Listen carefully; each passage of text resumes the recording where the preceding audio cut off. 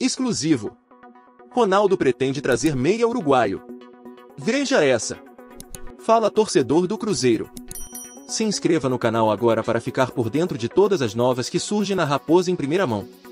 Pepa relacionou 23 jogadores para o primeiro compromisso oficial no Cruzeiro. Nesta quinta-feira, o time enfrentará o Náutico, pela Copa do Brasil, e depois viajará direto rumo a São Paulo, para estrear no Brasileiro diante do Corinthians, domingo.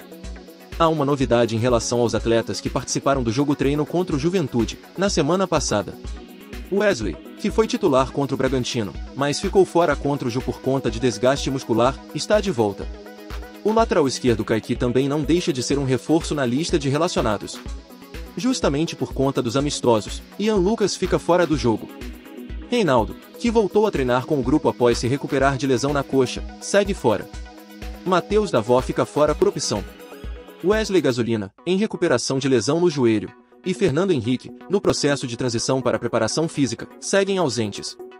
Henrique Dourado não foi anunciado e registrado pelo clube, mas, mesmo que tivesse sido, levará algum tempo para ter condições físicas para estrear. O goleiro Gabriel Mesquita teve o contrato reativado no BID nessa terça, após empréstimo, mas ainda não foi relacionado. Para não perder as últimas notícias do Cruzeiro em primeira mão, é muito importante que você deixe seu like nesse vídeo para o YouTube continuar divulgando essas informações para você. Obrigado! Continuando.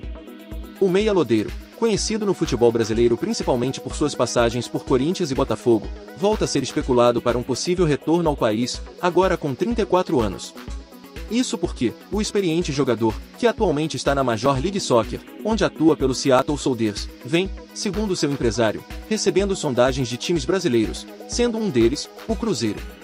Segundo fontes, a diretoria celeste analisa a vinda do atleta. Gerardo Cano cita ainda um interesse por parte do futebol paulista, mas não citou o nome da equipe. Apesar da passagem pelo futebol brasileiro, Lodeiro também é bastante conhecido por seus tempos de Ajax, por lá, foram pouco mais de duas temporadas, com 4 gols em 29 partidas disputadas. Em 2023, pelo Seattle, Lodeiro acumula 8 partidas disputadas, com nenhum gol marcado e 3 assistências distribuídas. E aí, torcedor?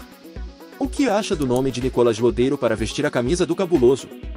Deixe sua opinião nos comentários.